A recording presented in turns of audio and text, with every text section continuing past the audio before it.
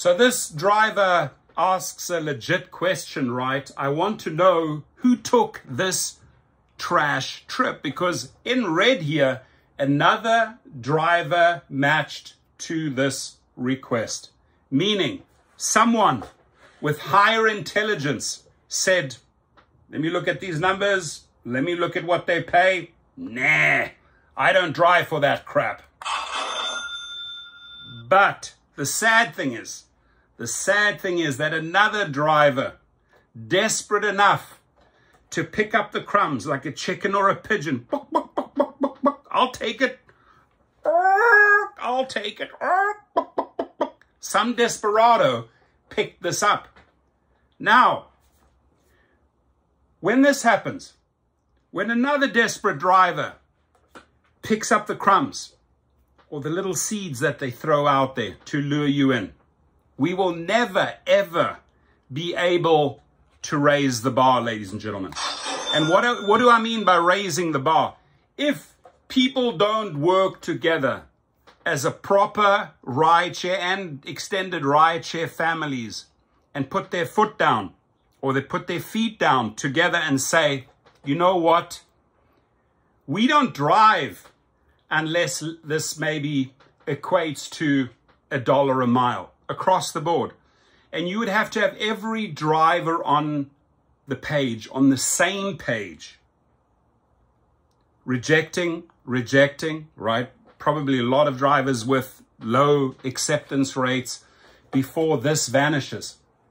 If we are not able to raise the bar collectively because there are desperados out there, right? There's another driver out there that is willing to match this request, this offer we will never ever achieve our goals. So it is our duty, whether you use social media, whether it means you interact with someone at a holding lot at an airport and say, listen, let's all get on the same page, right? Let's all work together. In Kenya, they are using walkie talkies. I mean, it is amazing, right? That they can actually use walkie-talkies and say, hey, listen, have you seen, have you guys seen, um, you know, they're on the same sort of bandwidth. Have, have you seen the offers that come in?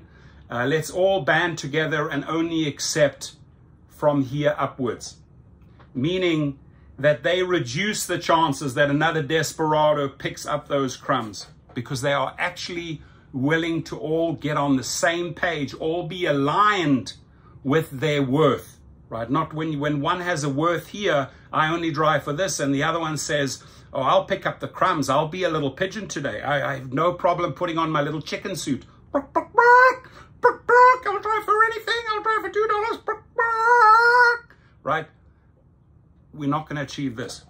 We have to learn how to work together, educate other drivers, and raise the bar because it F's with their algorithms. It's like, oh, hell, what's happening here in Kenya? Oh, these drivers are not picking up the crumbs anymore. We, we're throwing out the seeds. We're throwing out little loaves of bread and slices of bread, but, but, but, but the pigeons are not taking it anymore. That is what we need to achieve, right? Very easy. It's not difficult. Find a fellow driver and have a conversation about this whether you're in Miami, whether you're sitting at LAX airport, hey guys, listen up, listen up, right? Where is this thing? My batteries are probably low. Listen up, drivers. Let's all get on the same page, right? We don't drive for under a dollar a mile. And once we start sticking together, these dumb messages here will start disappearing. Don't be a pigeon.